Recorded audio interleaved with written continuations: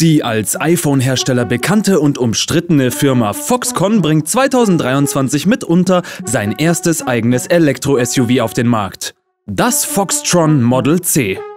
Alles, was man aktuell zu dem siebensitzigen E-SUV wissen kann, was mich mittlerweile ziemlich aufregt und wie ihr euch 150 Euro auf die Premium Wallbox Sony IQ sparen könnt, seht ihr jetzt hier auf Project Drive.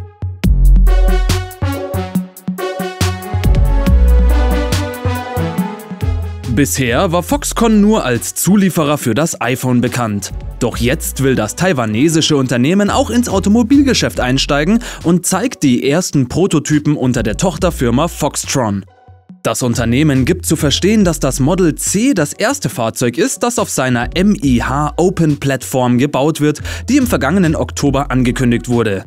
Die EV-Kit-Plattform, die eine vollständig modulare Architektur aufweist, die skalierbar und leicht anpassbar ist, wird auch die Grundlage für den Vorstoß von Foxconn in Thailand bilden, wo das Unternehmen angekündigt hat, mit dem Energiekonzern PTT beim Bau von Elektrofahrzeugen zusammenzuarbeiten. Außerdem will Foxtron mit weiteren Modellen auf den Markt preschen, darunter das Model V, das Model E und das Model B. Zudem habe ich schon ein Video gemacht, das verlinke ich euch hier oben rechts.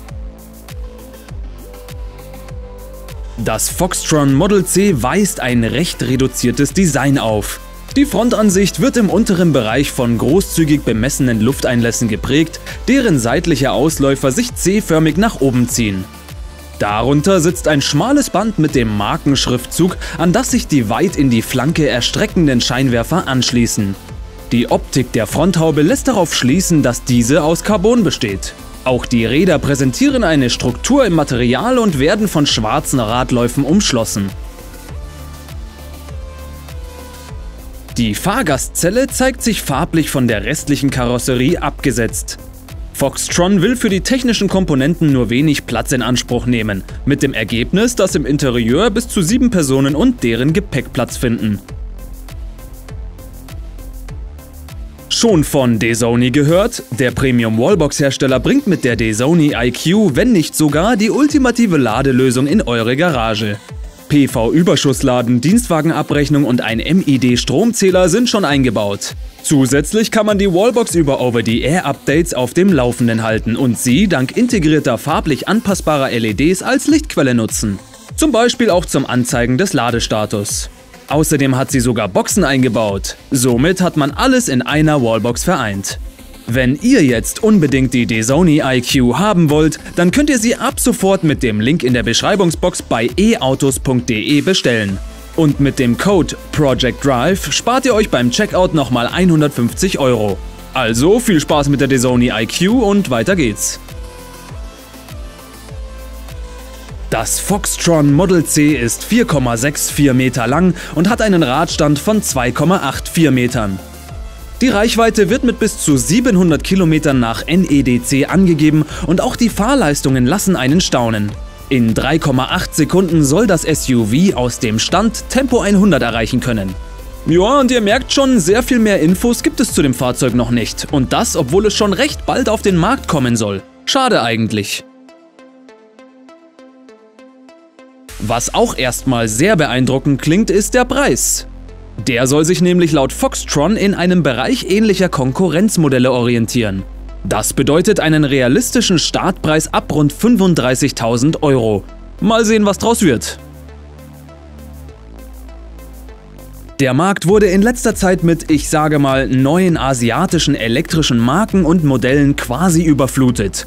Und darunter sind viele interessante Modelle, die ja auch zu uns nach Deutschland kommen oder hier schon verfügbar sind. Wie euch bestimmt schon aufgefallen ist, habe ich mich auf diesem Kanal sehr viel mit dem Thema asiatische Elektroautos auseinandergesetzt und dabei sind mir ein paar absolut nervige Punkte aufgefallen, die ich kurz mit euch teilen möchte. Zum einen gibt es da die absolut spärliche Informationspolitik, hauptsächlich in China. Ich muss da immer richtig tief graben und sehr viel Recherchearbeit hineinstecken, was mitunter der Grund sein könnte, warum es, außer mir, nicht viele gibt, die eben Videos darüber machen. Zum anderen das, was zu erwarten war.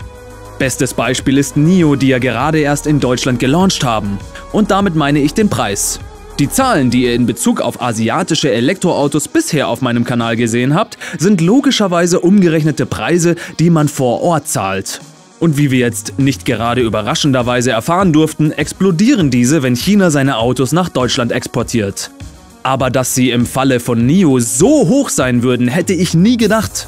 Ich persönlich bin von höchstens 6 bis 700, vielleicht noch 800 Euro im Monat ausgegangen, nicht von 1300 Euro für den NIO ET7. Auch die 1000 Euro im Monat für den ET5 halte ich für extrem übertrieben.